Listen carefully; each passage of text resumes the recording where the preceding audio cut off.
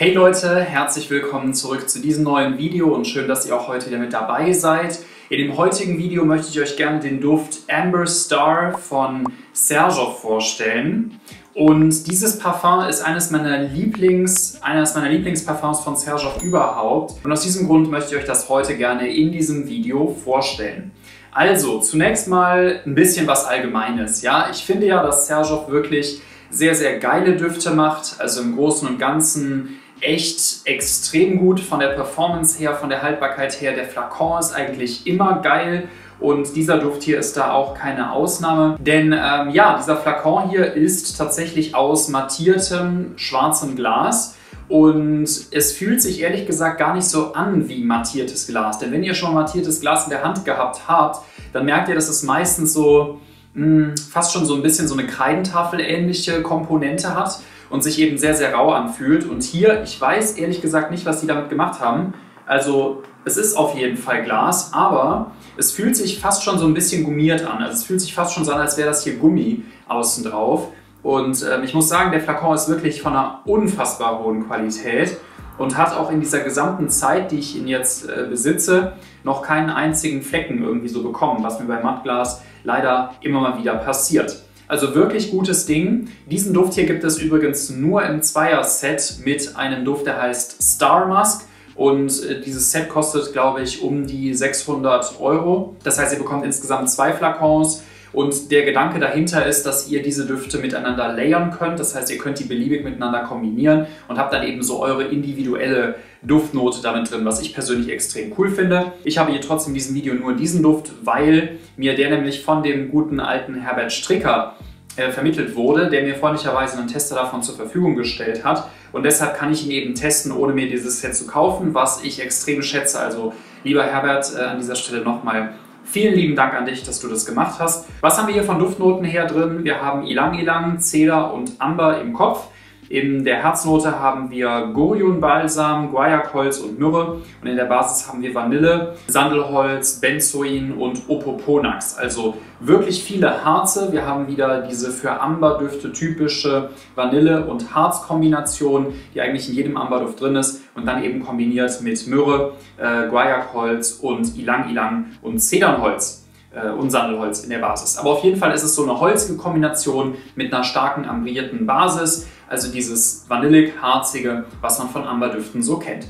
So, und jetzt kommt der Punkt, wo ich mich so ein bisschen überrascht, wo ich so ein bisschen überrascht gewesen worden bin. Denn das ist die, ähm, ist das überhaupt eine Zeitform? Ich weiß es nicht. Auf jeden Fall ist das die Performance von diesem Duft, denn ich bin es von Serge gewohnt, dass die eine extrem gute Performance haben.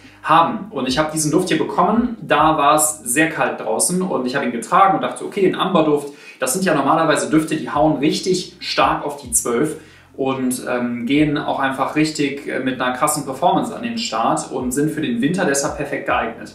Also habe ich diesen Duft hier getragen und ich war so ein bisschen überrascht, weil ich den nämlich nach ein paar Stunden schon nicht mehr vernehmen konnte. Und das ist eben der Punkt, wo ich sagen muss, das ist wirklich eine Überraschung, weil Sergov eigentlich immer mit der Performance delivert. Und so ist es auch hier. Äh, aber dieser Duft hier ist wirklich nicht für die übelst kalten Temperaturen meiner Ansicht nach geeignet, sondern eher so, wie wir das vielleicht gerade haben, so 5 bis 10 Grad, vielleicht sogar auch darüber. Und das macht ihn sehr, sehr spannend, denn welcher Amberduft ist tatsächlich bei wärmeren Temperaturen tragbar?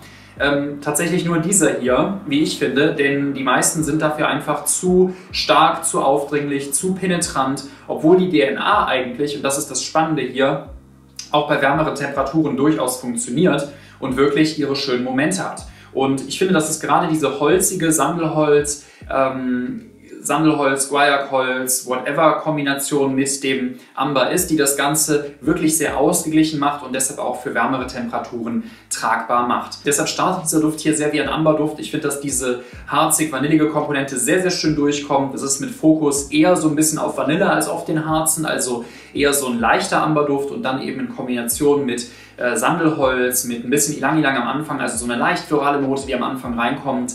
Und dann ist es aber wirklich eher ein sehr subtiler Duft, der zwar eine sehr gute Performance hat und auch immer wieder durchkommt, über 10, 12 Stunden, aber der eben nicht so aufdringlich ist, wie ihr das von Amberdüften vielleicht gewohnt seid. Es ist also ein Duft, der sich meiner Ansicht nach für diejenigen eignet, die einen edlen, Veranstaltungsduft suchen. Das heißt, wenn ihr zum Beispiel auf eine Veranstaltung geht, auf ein Event abends, was aktuell ja nicht so easy möglich ist, aber grundsätzlich wäre das so die typische Situation, wo ich diesen Duft hier tragen würde. Es ist kein Duft, der in den Club gehört, es ist kein Duft, der draußen in die eisige Kälte gehört, sondern es ist wirklich so ein edler, eleganter, abendlicher Duft, vielleicht auch für eine intime Situation zu zweit. Das müsst ihr dann immer für euch entscheiden. Aber das ist so diese typische Situation, wo ich den Amber Star sehe und eben als sehr unaufdringlichen, sehr eleganten Duft mit einer guten Performance, der durchaus in diese orientalische Amber-Richtung geht, aber nicht zu harzig ist, sehr, sehr westlich, sehr, sehr italienisch, wie man das eben von Sergov kennt und in Kombination eben sehr elegant, unaufdringlich und High Class. Das ist das, wie ich diesen Duft hier beschreiben würde.